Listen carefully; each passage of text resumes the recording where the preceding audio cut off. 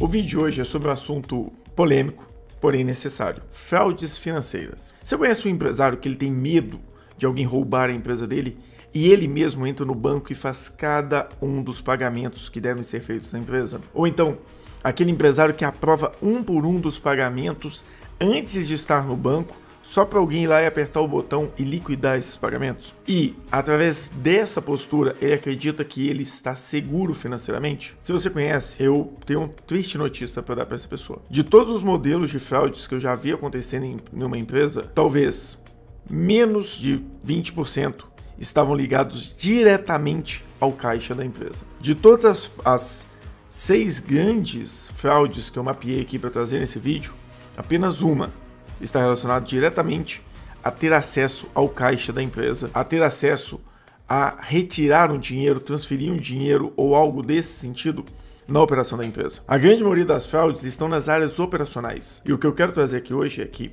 não é sentar no caixa ou controlar todo o financeiro que entra e sai da sua empresa que vai garantir que você não tenha uma fraude. O que garante a ausência de fraudes, ou pelo menos mitiga elas, são processos operacionais, administrativos e financeiros, interligado com auditoria, análise, revezamento e principalmente muita visão gerencial. Se você acha esse assunto interessante ou acredita que esse assunto pode ser interessante para alguém que você conheça, continua aqui, porque como sempre nesse canal a gente vai falar muito de planejamento, gestão e muita, muita contabilidade estratégica.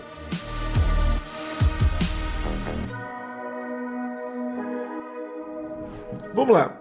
Vamos falar das principais fraudes que eu vejo acontecendo no dia a dia das empresas. A primeira fraude e a mais comum para mim, ela está no setor de compras. É quando compradores, no momento de realizar uma compra para a empresa, recebem uma comissão. Como isso funciona, Carlos? Você tem um comprador na sua empresa e ele faz uma compra ali média dentro da operação da sua empresa de 1, 2 milhões de reais mês, ou até mesmo 100 mil, 50 mil. E ele começa a negociar com os, com os vendedores o seguinte fator: se você me der uma comissão de 1% sobre tudo que eu comprar da sua empresa, eu priorizo ela na compra aqui. E o comprador passa a priorizar empresas que pagam comissão gerencial para ele e não as empresas que têm a melhor tratativa comercial, que tem melhor prazo, que tem melhor condição financeira, condição de pagamento e coisas do tipo. Compradores têm acesso muito fácil a destinar o capital da empresa para outras corporações não têm a melhor condição de pagamento e até mesmo não têm a melhor condição de assumir aquele projeto. Então, fraudes com compradores, eu considero ela como a fraude número um que eu vejo nas empresas. Fraude número dois também está muito ligado à operação. Descontos excessivos por parte dos vendedores. Então, vou dar um exemplo.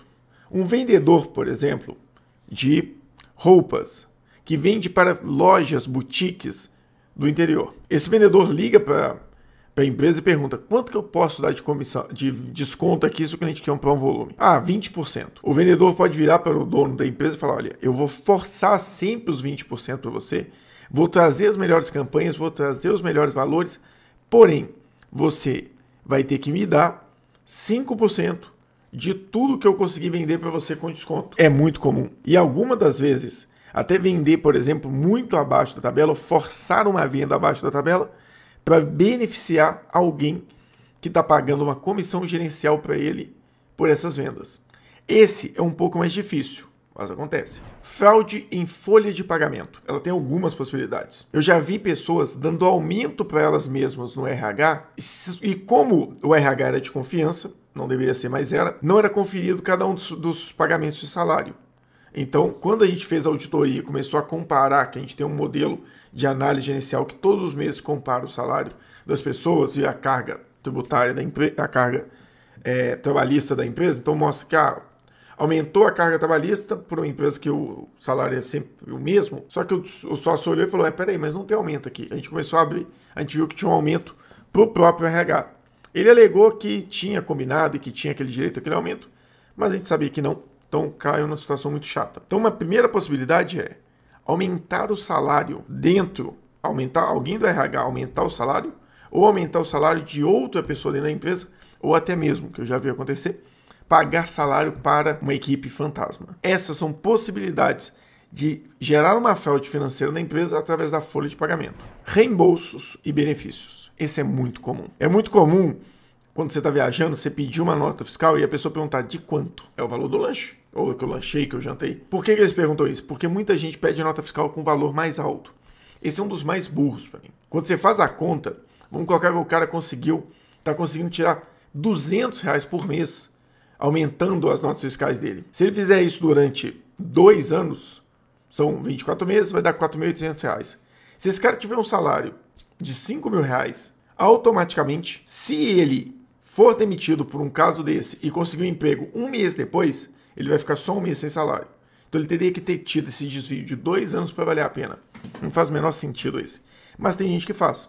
Então tem muita gente que faz, aumentando o valor daquela notinha, daquela nota fiscal ou daquele recibo de, de pagamento, principalmente lanches em estrada ou lanches em regiões que é mais, mais difícil tirar a nota fiscal, e a possibilidade de benefícios, que às vezes as pessoas colocam mais carga no benefício delas, ou dão um direcionamento para benefícios a cartões fantasmas, ou então tem cartões de benefício no setor e as pessoas usam. Então tudo isso ainda são fraudes que estão ligadas aqui à parte financeira e não estão diretamente no caixa. Despesa fictícia. Essa quinta fraude, ela é uma fraude um pouco mais difícil porque o cara está sentado ali no caixa e ele aprova cada uma das despesas.